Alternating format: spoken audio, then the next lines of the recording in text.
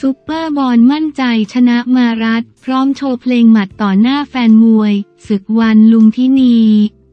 ความเคลื่อนไหวศึกมวย ONE รายการ ONE ลุมพินี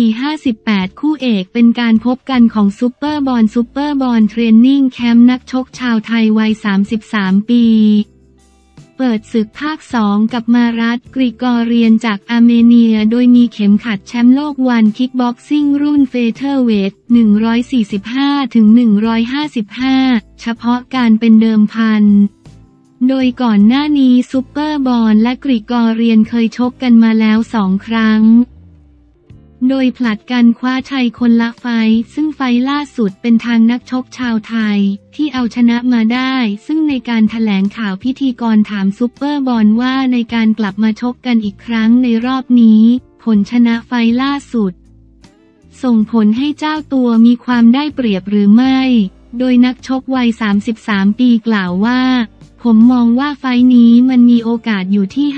50-50 การชกในครั้งที่แล้วผมแสดง skill ในการชกให้เห็นแล้ว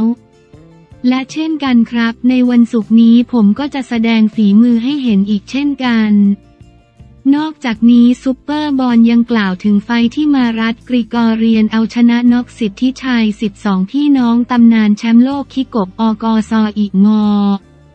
ว่าไฟต์นี้จะแตกต่างออกไปและตนเองก็เตรียมแผนในการสู้กับคู่ชกจากอาร์เมเนียมาเช่นกัน ผมได้ดูไฟต์นั้นเหมือนกันครับ ก็สนุกมากแต่แน่นอนว่าไฟต์นี้มันมีความแตกต่าง ผมไม่ใช่สิทธิชัย และส่วนตัวผมมองว่าสิทธิชัยอาจจะพลังการชกตกลง แต่ว่าผมอยู่ในช่วงขาขึ้นครับ เพราะฉะนั้นไฟนี้มันจะแตกต่างไปอย่างแน่นอน เขา มารัตมีพลังที่อันตราย แต่ว่าผมเองก็มีแผนที่จะรับมือกับพลังของมารัฐเหมือนกันครับ เมื่อถูกถามว่าผลการแข่งขันในวันศุกร์จะจบลงแบบไหน ซูเปอร์บอลตอบสั้นๆ แต่เต็มไปด้วยความมั่นใจว่า ผมจะชนะในวันศุกร์นี้ครับ ด้านมารัฐกริกอเรียนวัย 32 ปีกล่าวว่า ผมรู้สึกดีที่ชนะสิทธิชัย ในไฟก่อน มาได้แต่ในครั้งนี้ผมตั้งใจจะมาเจอกับซูเปอร์บอลมาก ๆ ไฟนี้เรามีฟิตซ้อมที่แตกต่างออกไป มีเปลี่ยนแผนการชก และแฟน ๆ จะได้เห็นกันในวันศุกร์นี้ การเอาชนะสิทธิชัยมันผ่านไปแล้วในไฟนี้จะแตกต่างกันออกไปอย่างแน่นอน นักชกทั้งสองคน สิทธิชัยซูเปอร์บอลไม่เหมือนกัน และการเตรียมแผนต่างๆ ก็ไม่เหมือนกันอย่างแน่นอน ส่วนการชกครั้งนี้จะจบลงยังไง ผมเชื่อว่าเราทั้งคู่เป็นนักชกที่แข็งแกร่งและเก่งที่สุด ไม่ว่าผลจะจบลงยังไงจะเต็มเกมหรือมีการน็อกผมก็ขอโฟกัสในการมาชกไฟนี้สุดๆครับ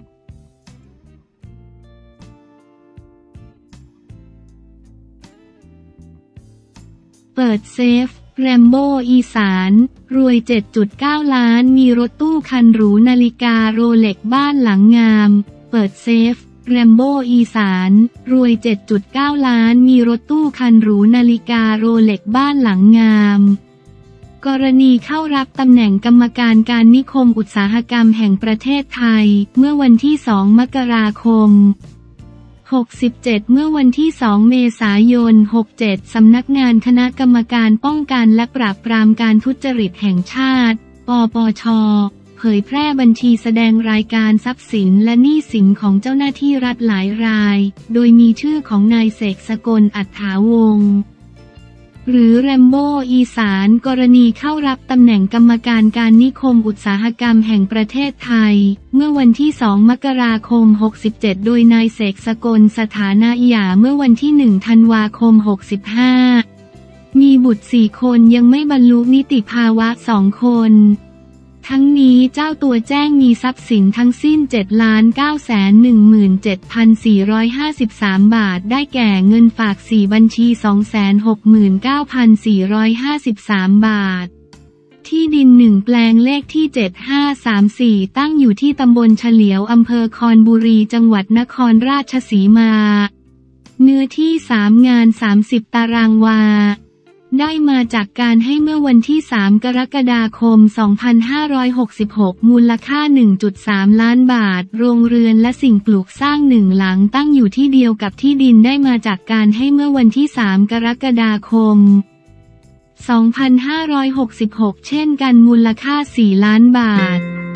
นอกจากนี้ยังมียานพาหนะ 3 คัน เป็นรถยนต์ยี่ห้อฮุนได ได้มาวันที่ 25 มิถุนายน 2555 เล็กซัสได้มาวันที่ 31 ตุลาคม 2566 และโตโยต้าอัลพาดได้มาวันที่ 7 กรกฎาคม 2566 รวมมูลค่า 2.1 ล้านบาท ทรัพย์สินอื่น ราคาตั้งแต่ 200,000 บาทขึ้นไป เป็นนาฬิกาโรเล็กหนึ่งเรือนได้มาวันที่ 8 เมษายน 2566 มูลค่า 2.5 แสนบาท ไม่มีหนี้สินแจ้งมีรายได้รวมต่อปีโดยประมาณ 884,000 บาท เป็นเงินกองทุนสส144,000 บาท ค่าตอบแทน 5 0 0แสนบาท เบี้ยประชุม 2.4 แสนบาท มีรายจ่ายรวม 356,830 บาท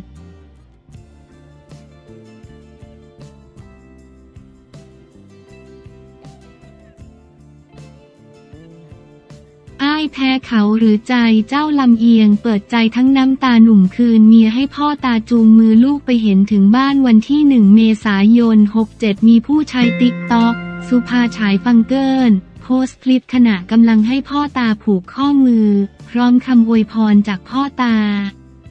ด้วยสีหน้าเศร้าสร้อยก่อนจะก้มลงกราบหลังเอาภรรยามาคืนพ่อตาเนื่องจากภรรยามีแฟนใหม่เข้ามาบ้าน จึงขอเลิกแม้ว่าจะอยู่ด้วยกันมาถึง 6 ปี มีลูกอายุสี่ขวบแล้วก็ตาม เพราะทำใจยากขอหลีกทางให้ดีกว่าล่าสุดผู้สื่อข่าวได้เดินทางไปพบกับหนุ่มคนดังกล่าว ทราบชื่อคือนายสุภชัยภูเงิน หรือนนอายุ 35 ปีชาวอำเภอเมืองจังหวัดอุดรธานี